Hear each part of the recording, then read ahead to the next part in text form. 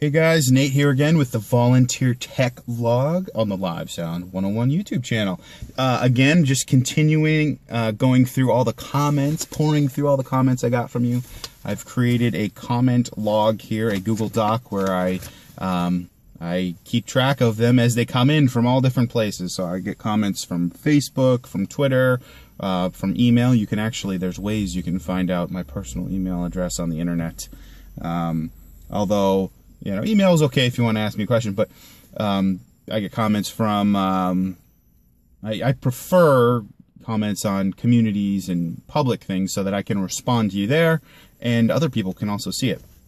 If that makes any sense. So yeah, you can email me if you're savvy enough to look up what my email address is. But I uh, I do prefer things like the Google Plus uh, Live Sound 101 community. That's a great place to ask a question.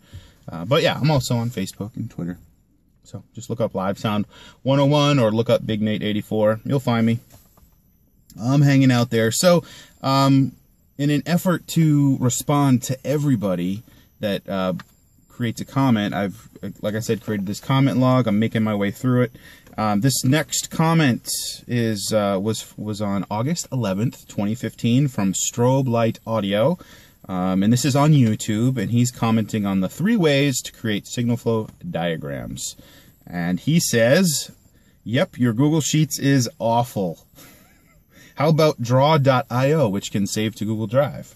So um, I made a video called um, Three Ways to Create Signal Flow Diagrams. And basically, I, I outlined like the, the industry standards. So for work, I create uh, signal flow diagrams. I do this all day, every day. I've been doing this since like 2007. Um, so I I have a I think like a system designer, and I think like somebody who puts the systems down on paper, and I have this mindset of how can I document something so that people can get the information they need to build the system. So it's kind of like the blueprint guy who makes makes the, the, the drawings that other people build from. That's kind of where I have a lot of professional experience. Even though I'm a volunteer for the church, my day job uh, is is is, uh, is in the commercial integration world, in the, in the, in the system design world. So I went over the three things. I went over um, AutoCAD, Visio, and then which AutoCAD is like the industry standard. Visio is is also a popular one that a lot of people use, but not as popular as AutoCAD. Um, and then there's Google Sheets, which is just a spreadsheet. It's like Excel and really all you're a lot of times all you're doing is mapping inputs and outputs so if you really want a bare bones free simple solution that's easily shareable you know google sheets is a great way to go. If you just want to flip open your phone and start typing stuff in and mapping things out you can do it in google sheets. It's not as elegant it's not as pretty uh, it doesn't look as nice but hey it gets the job done. Um, and it's free. You know visio costs a little bit of money um, AutoCAD, costs a lot of bit of money and it takes a big investment of time and resources to get AutoCAD up and running. So anyway, th that's why I went with those three ways. But uh, Strobe Light Audio is, is telling me my sheets is awful. My feelings are hurt. Why do you have to hurt my feelings?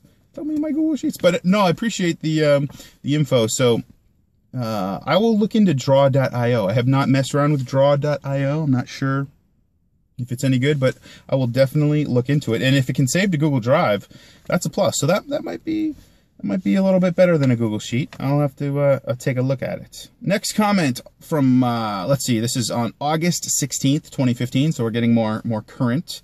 Um, this is from Kaj McBeth on YouTube, and he is commenting on the Live Sound 101 Lingo and Jargon video. He says, I'm only on the second video, and these are so immensely helpful. Thank you, Nate. Well, thank you very much, Kaj. I uh, I really appreciate that. I'm, I'm trying to what I'm trying to do with the Live Sound 101 is is really think through, think back to when I knew nothing about live sound or, or audio video technology, and try to explain some of these things that um, you may not be able to find in a in a video that's out there on on the web somewhere. Um, so I'm really I'm really the whole purpose of this is to create content that can take somebody from zero to live sound person. Like somebody that has no experience that is eager and wants to learn. They're faithful, available, teachable. You have those characteristics, you can do this. You just got to be dedicated to it and dedicated to learning. So I uh, really appreciate the uh, the feedback there. That these are immensely helpful. So gives me gives me encouragement to uh, to keep going. Another comment on August 21st, 2015, again from Kaj McBeth via YouTube, and he's commenting on Live Sound 101 community comments and questions answered. So uh, that that was uh, part eight of the Live Sound 101 video series, uh, which I will, will be continuing uh, eventually. He says, Hey Nate, I've got a question. What are the best tools to use software wise when drawing block or stage plots? Are there any specific CAD softwares uh, or CAD software uh, for for this that are commonly used? Thanks a bunch. So, you know, he's asking about when drawing block or stage plots. So, I mean, I, am I'm, I'm thinking he mean what he's intending to ask is about um, drawing block diagrams or stage plots. Uh, their specific CAD software. So you can go back and check out my three ways to create signal flow uh, diagrams. Um, I think I already shared that link with you, Kaj. Um, that's one way to do it. Now, there, those are just the first three that like came to mind as the most popular or common common ones for me. But I, I could probably expand that into like 10 different ways to document these things because there's there's many ways you can do it. Now, when you start doing stage plots, um, if you can get architecturals of your building, that's that's the first place to start is to ask ask people. Um, you know, I'm not I'm not sure if you're doing this for church or for what, but if you can get a floor plan or ceiling plan or both uh, for the building that you're working in, that is the best place to start because that's going to save you a lot of time. I mean, if you don't know the actual dimensions, I guess it depends on what you're really trying to do. If you just need, you need to actually draw a two scale stage diagram so you can show physically everything to scale and shift things around and, you know, might want to have the drum platform here and keyboard over here and piano here and you want to kind of do this design ahead of time, it might help to have everything to scale, but maybe you don't need something to scale. Maybe you can just do a quick little sketch. So that's also part of this is trying to figure out you know, what is the least amount of uh, work to get the job done and accomplish what you're trying to do with these diagrams. So anyway, hope that hope that helps, but definitely check out the three ways to create signal flow diagrams. Um, next question was on August 25th, 2015 from Boris Chang. This is on YouTube uh, on the Live Sound 101 lingo and jargon video. Good, good content, but dude, Please cut out the video game music droning in the background. It is distracting and serves no purpose for any for an informational video like this. Boris, I have heard you loud and clear. The first few videos I put background music in just because that was my um, my typical workflow for creating Big Nate 84 videos. I like to incorporate music. Um, I've learned a lot about producing videos for YouTube, um, and I've gotten a lot of feedback from people and so I have taken out, don't worry, moving forward, I've taken out the background music. So uh, no worry, appreciate, appreciate the comment. Uh, always, always enjoy getting feedback, whether it's critical or, or, you know, positive, whether it's, you know, negative or positive. I do appreciate the feedback. I try to, uh, I think I have a pretty thick skin and I, I try to take everything at face value and really, even if it's a, you know, negative comment that could be, be perceived as hurtful or whatever, I try to look for the positives to pull out of that because a lot of times there actually is some constructive criticism, um, even in like a, a, highly negative comment. So Boris, thanks for thanks for chiming in. Appreciate it. Let's see, coming up on the nine minute mark. I better pause this video for one moment.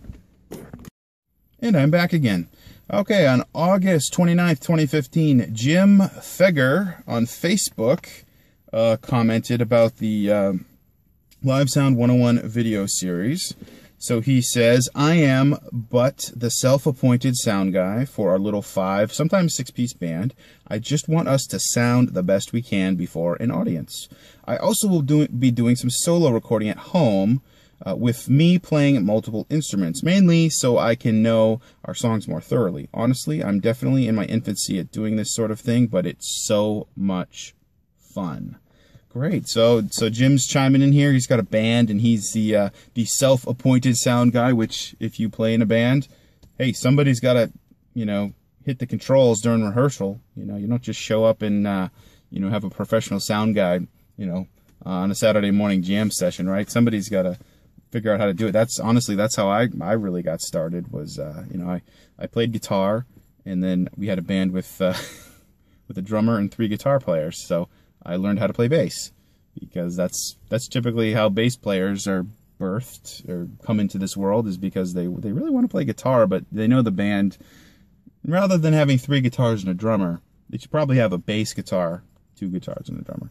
So I learned how to play bass, and then we were all going through this little four channel like Radio Shack mixer, and I was the guy that sat by the controls and put up the volumes until you know just did some rough mixing so we could hear everybody equally and then I became sound. So at the age of like, I don't know, 14, 15 years old, I was messing around with this stuff. And uh, I was the self appointed sound guy. So I can relate to you. Years and years ago, I was in that same exact position. But it was so much fun. It was like, it was. It was a blast just to be able to, to do that and to to mix and to record and I was I was figuring out ways to man at the time was recording to like cassette tape uh, and then I had like a little a little computer, and I downloaded this like free software called N-Track Studio. I don't know if anybody remembers N-Track Studio, but I would record uh, to the to the to N-Track Studio, and just like you, Jim, I would um, I would record all the parts. So I'd record uh, bass, I would record guitar, I would record uh, vocals, and then go back and do va- backup vocals. And um, so that was that was pretty cool. Um, Let's see. So let's see. What where do I go? So you're definitely in your infancy at doing this sort of thing with someone. So there's no not really a question there, Jim, but definitely appreciate you um, you taking the time to uh, to mention that. Um, let's see. August 29th, 2015. Okay, this is uh this is another one from from Jim. And let's see, he's saying this is on Facebook.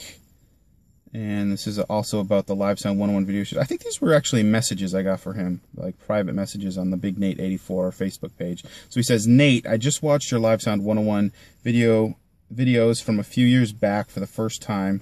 Thank you for that great foundational info that is still useful and relevant today, especially the universal truth of doing the best you can with what you have and keeping an open mind.